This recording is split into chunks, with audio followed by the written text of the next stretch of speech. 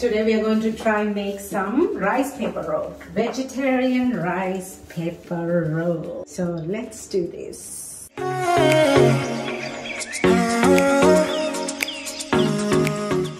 So first thing I'm going to do is make some peanut hoisin sauce. And what do you need for that? Crushing some garlic first. Okay, and I'm going to put some peanuts into it. And crush it. You can even use a mixie and crush it, okay? You don't have to go this hard way. So I'm crushing because I like the crunchiness of the peanuts in the sauce. But if you can't be bothered, you can just use peanut butter instead of the peanuts that, that I'm crushing. We're going to start the flame here. Simmer it and I'm going to add in the crushed garlic and peanuts, right? Now I'm going to add some sesame oil into it and some hoisin sauce. Come on, come on, come on, come on. So we can actually keep it in the fridge once we make it. Low flame and then just mix this up. If you wanted more runny consistency, you can add some water. You see, I added some more water because I like it a bit runny. I don't like it too thick, you know.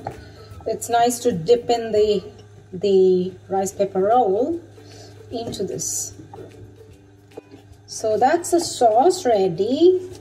Now to make the rice paper rolls itself, okay? So I got these ready-made rice papers and I have chopped some avocados. I've got some mint leaves, parsley and lettuce. So i'm going to add those two. As i said if you want to do non-veg you can have uh, cooked chicken slices in it or prawns cooked prawns or you can put salmon and some lemon juice and everything. You can just put any combo okay? It's just so simple easy and you're eating raw vegetables and that's so healthy okay? So let's do see how thin this is it is that thin right that is the paper. It's made of rice and it's paper. So here I dipped one rice paper and it will soften up and then we do the rolling. I'm just going to chop all the vegetables, I mean the leaves.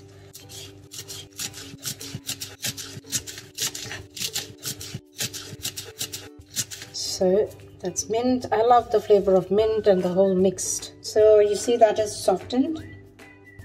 And then I just squeeze the water out and then I'm going to lay the the rice paper nicely in a circle right and I'm going to put some avocados some celery carrot cucumber and then some greens. And I'm to put some sultanas also right? Now now you stretch it and tighten it and and put everything in there right?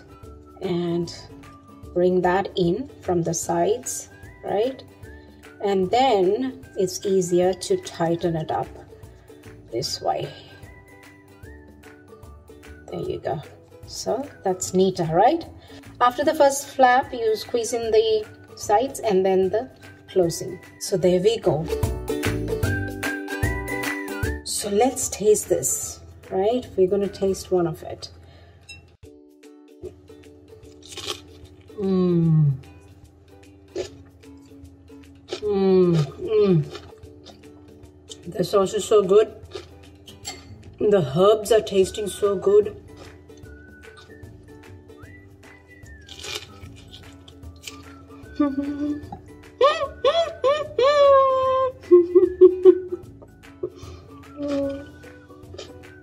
Mmm, mmm. The fresh veggies are so juicy.